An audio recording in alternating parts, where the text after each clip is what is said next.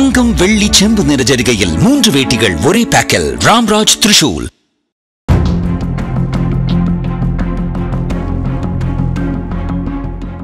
கர்நாடகாவின் ராமநகர் மாவட்டம் மகடி தாலுகா குதூர் அருகே உள்ள பண்டை மடத்தின் மடாதிபதியாக பணியாற்றி வந்தவர் பசவலிங்க சுவாமி. அவர் நான்கு நாட்களுக்கு முன்பு மடத்துல உள்ள தன்னுடைய அறையில தூக்கு போட்டு தற்கொலை செய்து கொண்டிருக்காரு. இந்த நிலையில மடாதிபதி அறையில இருந்து மூன்று பக்க கடிதம் போலீசாருக்கு சிக்கி இருக்கு அந்த கடிதத்துல சிலர் தன்னுடைய பெயருக்கு களங்கம் ஏற்படுத்தும் வகையில் செயல்படுவதாகவும் சிலர் தன்னை மிரட்டி வருவதாகவும் மடத்தை கைப்பற்ற சிலர் முயற்சி செய்வதாகவும் கூறியிருந்தாரு.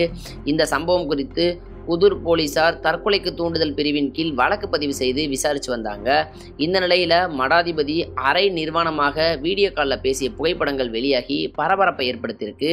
அந்த ஆபாச படத்தை சேர்த்து சிலர் பசவலிங்க சுவாமியை மிரட்டி இருக்கலாம் என்றும் இதனால் அவர் தற்கொலை செய்திருக்கலாம் என்றும் போலீசார் சந்தேகிக்கிறாங்க.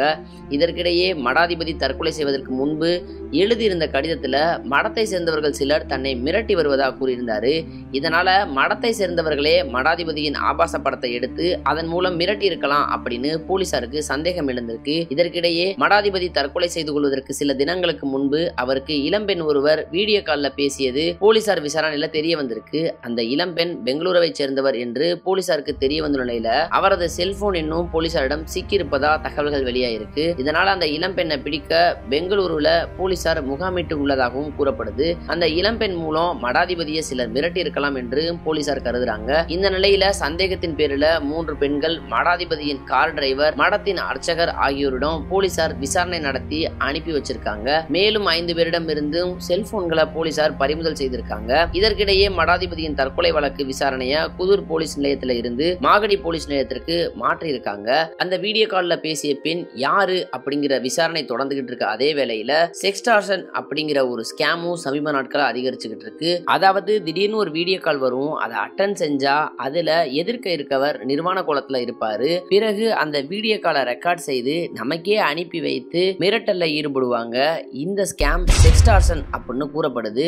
சமீப நாட்களா இதுவும் அதிகரிச்சு வருது. போலீசார் பல்வேறு கோணங்கள்ல விசாரிச்சு வர்றாங்க.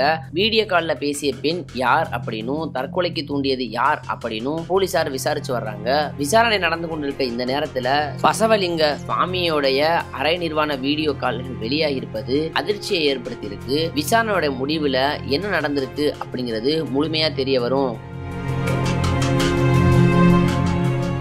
தங்கம் வெள்ளி செம்பு நிற ஜரிகையில் மூன்று வேட்டிகள் ஒரே பேக்கல் ராம்ராஜ் திரிஷூல்